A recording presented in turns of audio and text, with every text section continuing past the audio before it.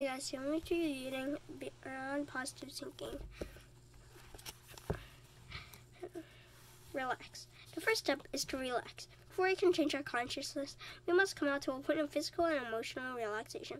A tense person simply cannot produce effective results. No matter how well you learn the techniques, the inner tension will nullify the words you speak, because there is a conflict because between what you are saying and what you are feeling. All mental and emotional undercurrents enter into the consciousness conditioning exercise. It would be in your best intent to learn how to fully relax your.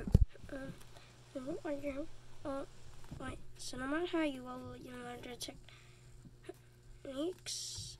Okay, so I kind of lost where I was, cause, but um, um, okay, I'm pretty sure uh, we're in here. I'm not sure because I had to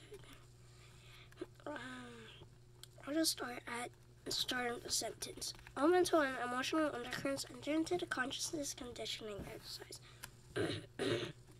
it would be in your best interest to learn how to fully relax your mind and body for 15 minutes minutes each day. One easy and an easy and effortless effortless way to do this is through a process of breathing and muscle flexing. Before you begin, your body up and concentrate on making your muscles as loose as possible. Then, sitting upright in a chair with your eyes closed, start to inhale and exhale in a slow, comfortable rhythm. You should feel to begin yourself relaxed.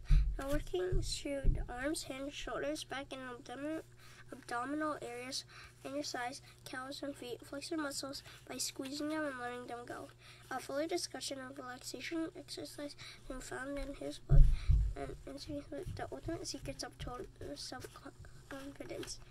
Whatever, whatever method you choose, it is essential that you take a few moments each day, take a break from your problems, fears, and anxieties to recharge and, program yourself with five hours con contained in this five-step process. So step one is to relax.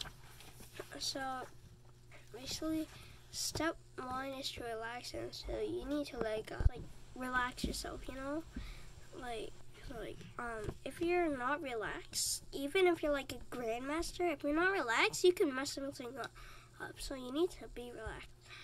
And so, as kids, it's a book on how to swim with your mom, dad, and daily homework. So my books about kindergarten and So yeah, yeah, and subscribe. Bye.